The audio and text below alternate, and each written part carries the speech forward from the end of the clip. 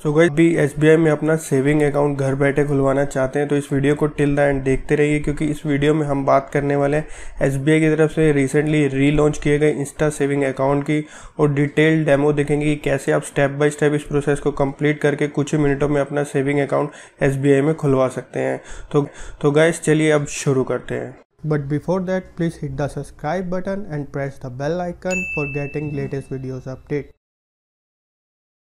तो guys welcome back to G B techs seat तो guys सबसे पहले आपको जाना होगा प्ले स्टोर पर और प्ले स्टोर पर जाने के बाद आपको यूनो एस बी ऐप को डाउनलोड कर लेना है।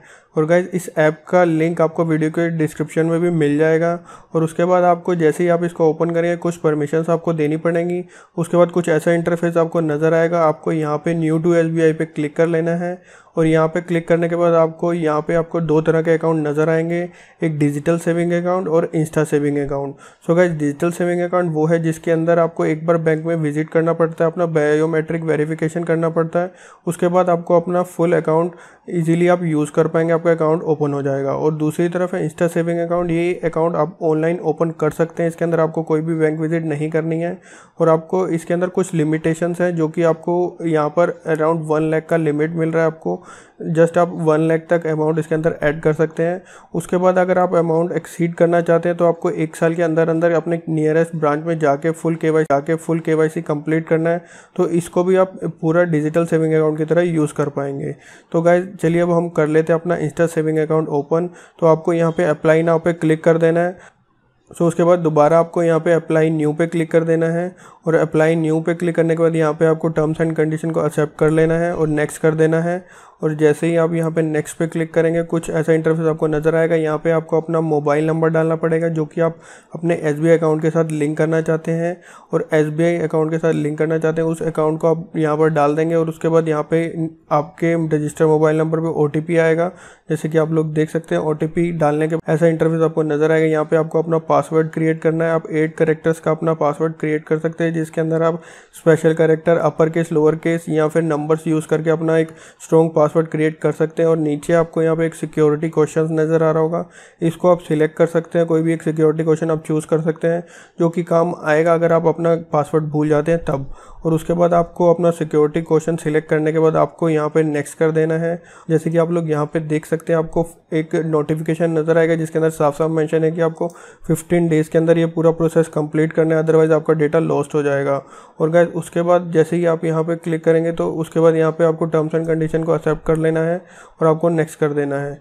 और उसके बाद यहाँ पर भी आपको अगेन टर्म्स एंड कंडीशन को एक्सेप्ट करना है और नेक्स्ट कर देना है।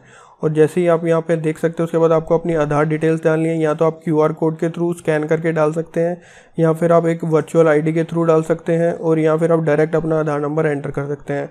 तो गाइस हम लेते हैं अपना आधार नंबर और जैसे कि आप लोग यहाँ पे देख सकते हैं, उसके बाद आपको यहाँ पे सबमिट कर देना है और उसके बाद आपके रजिस्टर्ड आधार आधार के साथ जो भी आपका मोबाइल नंबर रजिस्टर्ड है, उसके ऊपर आपको एक ओटीपी आएगा और जैसे ही आप यहाँ पे ओटीपी एंटर करेंगे, उसके बाद आपको नेक्स्ट पे क्लिक कर देना है। और नेक्स्ट पे क्लिक करने के बाद यहाँ पे आप लोग देख सकते हैं अपनी पर्सनल डिटेल्स उसके बाद आपको यहाँ पे नेक्स्ट करना है और नेक्स्ट करने के बाद यहाँ पे आपको कुछ पर्सनल डिटेल्स एंटर करनी है, जैसे कि आपकी प्लेस ऑफ़ बर्थ सिलेक्ट करनी है, उसके बाद यहाँ पर आपको अपनी कंट्री सिलेक्ट करनी है, और यहाँ पे आपको सिटीजनशिप सिलेक्ट करनी है, और उसके बाद यहाँ पे आपको नेशनैलिटी सिलेक्ट करनी है। तो गाइज़ यहाँ सब में आप इंडिया डाल देंगे, जैसे कि आप लोग यहाँ पे देख सकते हैं, और इंडिया डालने के बाद आप उसको नेक्स्ट करेंगे, जैसे कि आप लोग यहाँ पर देख सकते हैं। फिर उसके बाद कुछ यहाँ पे आपको अपनी आधार डिटेल्स नज़र आएँगी, जो कि आपके आधार से रीडायरेक्ट यहाँ पर हो जाती हैं और उसके बाद यहाँ पे आपको जस्ट अपना स्टेट चूज़ कर लेना और आपका टाउन वगैरह सिलेक्ट कर सकते हैं यहाँ पे आप। और उसके बाद जैसे ही आप यहाँ पे सिलेक्ट अपनी पर्सनल डिटेल सिलेक्ट करेंगे तो उसका नेक्स्ट करेंगे तो आपको यहाँ पे अपना पैन कार्ड एंटर करने के लिए पूछेगा। तो आप यहाँ पे अपना पैन कार्ड नंबर एंटर कर सकते हैं और उसके बाद आप यहाँ पे पैन कार्ड नंबर एंटर करने के बाद नेक्स्ट कर सकते हैं। और नेक्स्ट करने के बाद कुछ ऐसा इंटरफेस आपको नज़र आएगा। यहाँ पे आपको अपनी आधार कार्ड में जो भी आपने अपनी फ़ोटो लगा रखी वो आपको यहाँ पर नज़र आ जाएगी और उसके बाद इसको नेक्स्ट कर सकते हैं। नेक्स्ट करने के बाद जैसे कि आप लोग देख सकते हैं, यहाँ पे एडिशनल डिटेल्स में आपको अपनी एजुकेशन क्वालिफिकेशन को सिलेक्ट कर लेना है। और उसके बाद यहाँ पे जैसे ही आप अपने एजुकेशन क्वालिफिकेशन सिलेक्ट कर लेंगे, उसके बाद यहाँ पे आपको अपना मैरिटल स्टेटस को भी सिलेक्ट कर लेना है। और यहाँ पे फिर आपको कुछ एडिशनल इन्फॉर्मेशन अपनी देनी है। फॉर एग्ज़ाम्पल हम अपने फादर का नेम और मदर का नेम सारी डिटेल्स यहाँ पे आप डाल देंगे। और उसके बाद जैसे कि आप यहाँ पर डालने के बाद आप नेक्स्ट करेंगे तो कुछ ऐसा इंटरफेसन आपको नज़र आएगा। और जैसे कि आप लोग यहाँ पे देख सकते हैं, उसके बाद आपको यहाँ पे अपनी एनुअल इनकम पूछी जा रही है तो आप अपनी एनुअल इनकम यहाँ पर डाल सकते हैं। और उसके बाद जैसे कि आप लोग देख सकते हैं, यहाँ पे आपकी ऑक्यूपेशंस आपसे पूछी जा रही है तो आप यहाँ पे अपना जो भी आप कहाँ पे अपना जो भी आप काम करते हैं, यहाँ पर आप डाल सकते हैं इजीली और उसके बाद जैसे कि आप लोग यहाँ पे देख सकते हैं, आपको नॉमिनेशन डिटेल्स नज़र आ रही होंगी। यहाँ पे आप अपने नॉमिनी की डिटेल्स डाल सकते हैं। या तो फिर आप उनका scan nominee Aadhaar card scan कर सकते हैं या फिर एंटर नॉमिनी डिटेल्स पे क्लिक कर सकते हैं। और यहाँ पे उनका नेम वगैरह रिलेशनशिप डेट ऑफ़ बर्थ सारी डिटेल्स आप डाल सकते हैं। और उसके बाद यहाँ पे आप नॉमिनी का एड्रेस वगैरह भी आप मेंशन कर सकते हैं। अगर आपका एड्रेस सेम है तो आप इस बॉक्स में क्लिक कर देंगे। अदरवाइज़ आप उनका डिटेल एड्रेस डाल सकते हैं। तो गाइज़ उसके बाद जैसे ही आप यहाँ पे क्लिक करेंगे, उसके बाद आपको नेक्स्ट कर लेना है।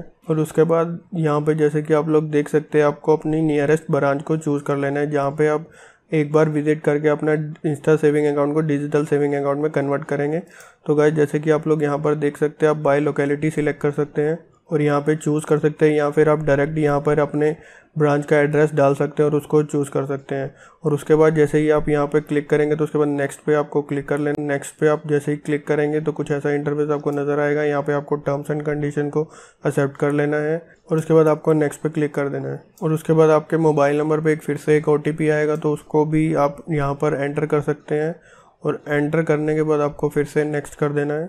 और नेक्स्ट करने के बाद यहाँ पे आपको अपनी डेबिट कार्ड डिटेल्स नज़र आ रही है तो अगर आप कुछ चेंज करना चाहते हैं तो यहाँ से चेंज कर सकते हैं। अदरवाइज़ आप नेक्स्ट पे क्लिक कर सकते हैं। और उसके बाद जैसे कि आप लोग यहाँ पर देख सकते हैं, आपका सेविंग अकाउंट ओपन हो चुका है। इंस्टा सेविंग अकाउंट आपका ओपन हो चुका है। आपको फुल डिटेल्स यहाँ पर नज़र आ जाएँगी। जैसे कि आप लोग देख सकते हैं, यहाँ पे आपको अपना अकाउंट नंबर भी यहाँ पे आपका मेंशन किया गया है। और उसके बाद आपको अपना सी आई एफ़ नंबर भी मेंशन किया गया है। ब्रांच कोड भी आपको मेंशन दिख जाएगा यहाँ पर। और अदर डिटेल्स भी आपको सब यहाँ पर इजीली मिल जाएँगी।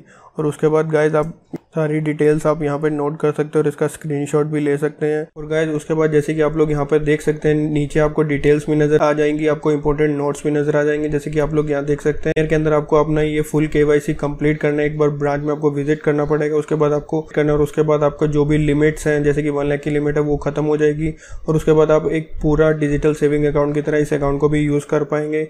और गाइज़ इसके बाद बात आती है इंटरनेट बैंकिंग की। तो अगर आपको अपना यूज़र नेम पासवर्ड एक्टिवेट करना पड़ेगा। जो भी आपका रजिस्टर मोबाइल नंबर है, उसके ऊपर आपको एक टेम्परेरी यूज़र आईडी आ जाएगी आपके और उसको यूज़ करके आप S B I online S B I की वेबसाइट पर जा सकते हैं और वहाँ से आप अपना यूज़र आईडी और पासवर्ड क्रिएट कर सकते हैं, जिसके थ्रू आप यूनो ऐप के अंडर एंटर करने के बाद आप इजीली सभी फैसिलिटी यूज़ कर पाएँगे या फिर आप ऑनलाइन वेबसाइट के थ्रू भी आप सभी एस बी आई की इंटरनेट बैंकिंग की सभी फैसिलिटी ईजिली यूज़ कर पाएँगे।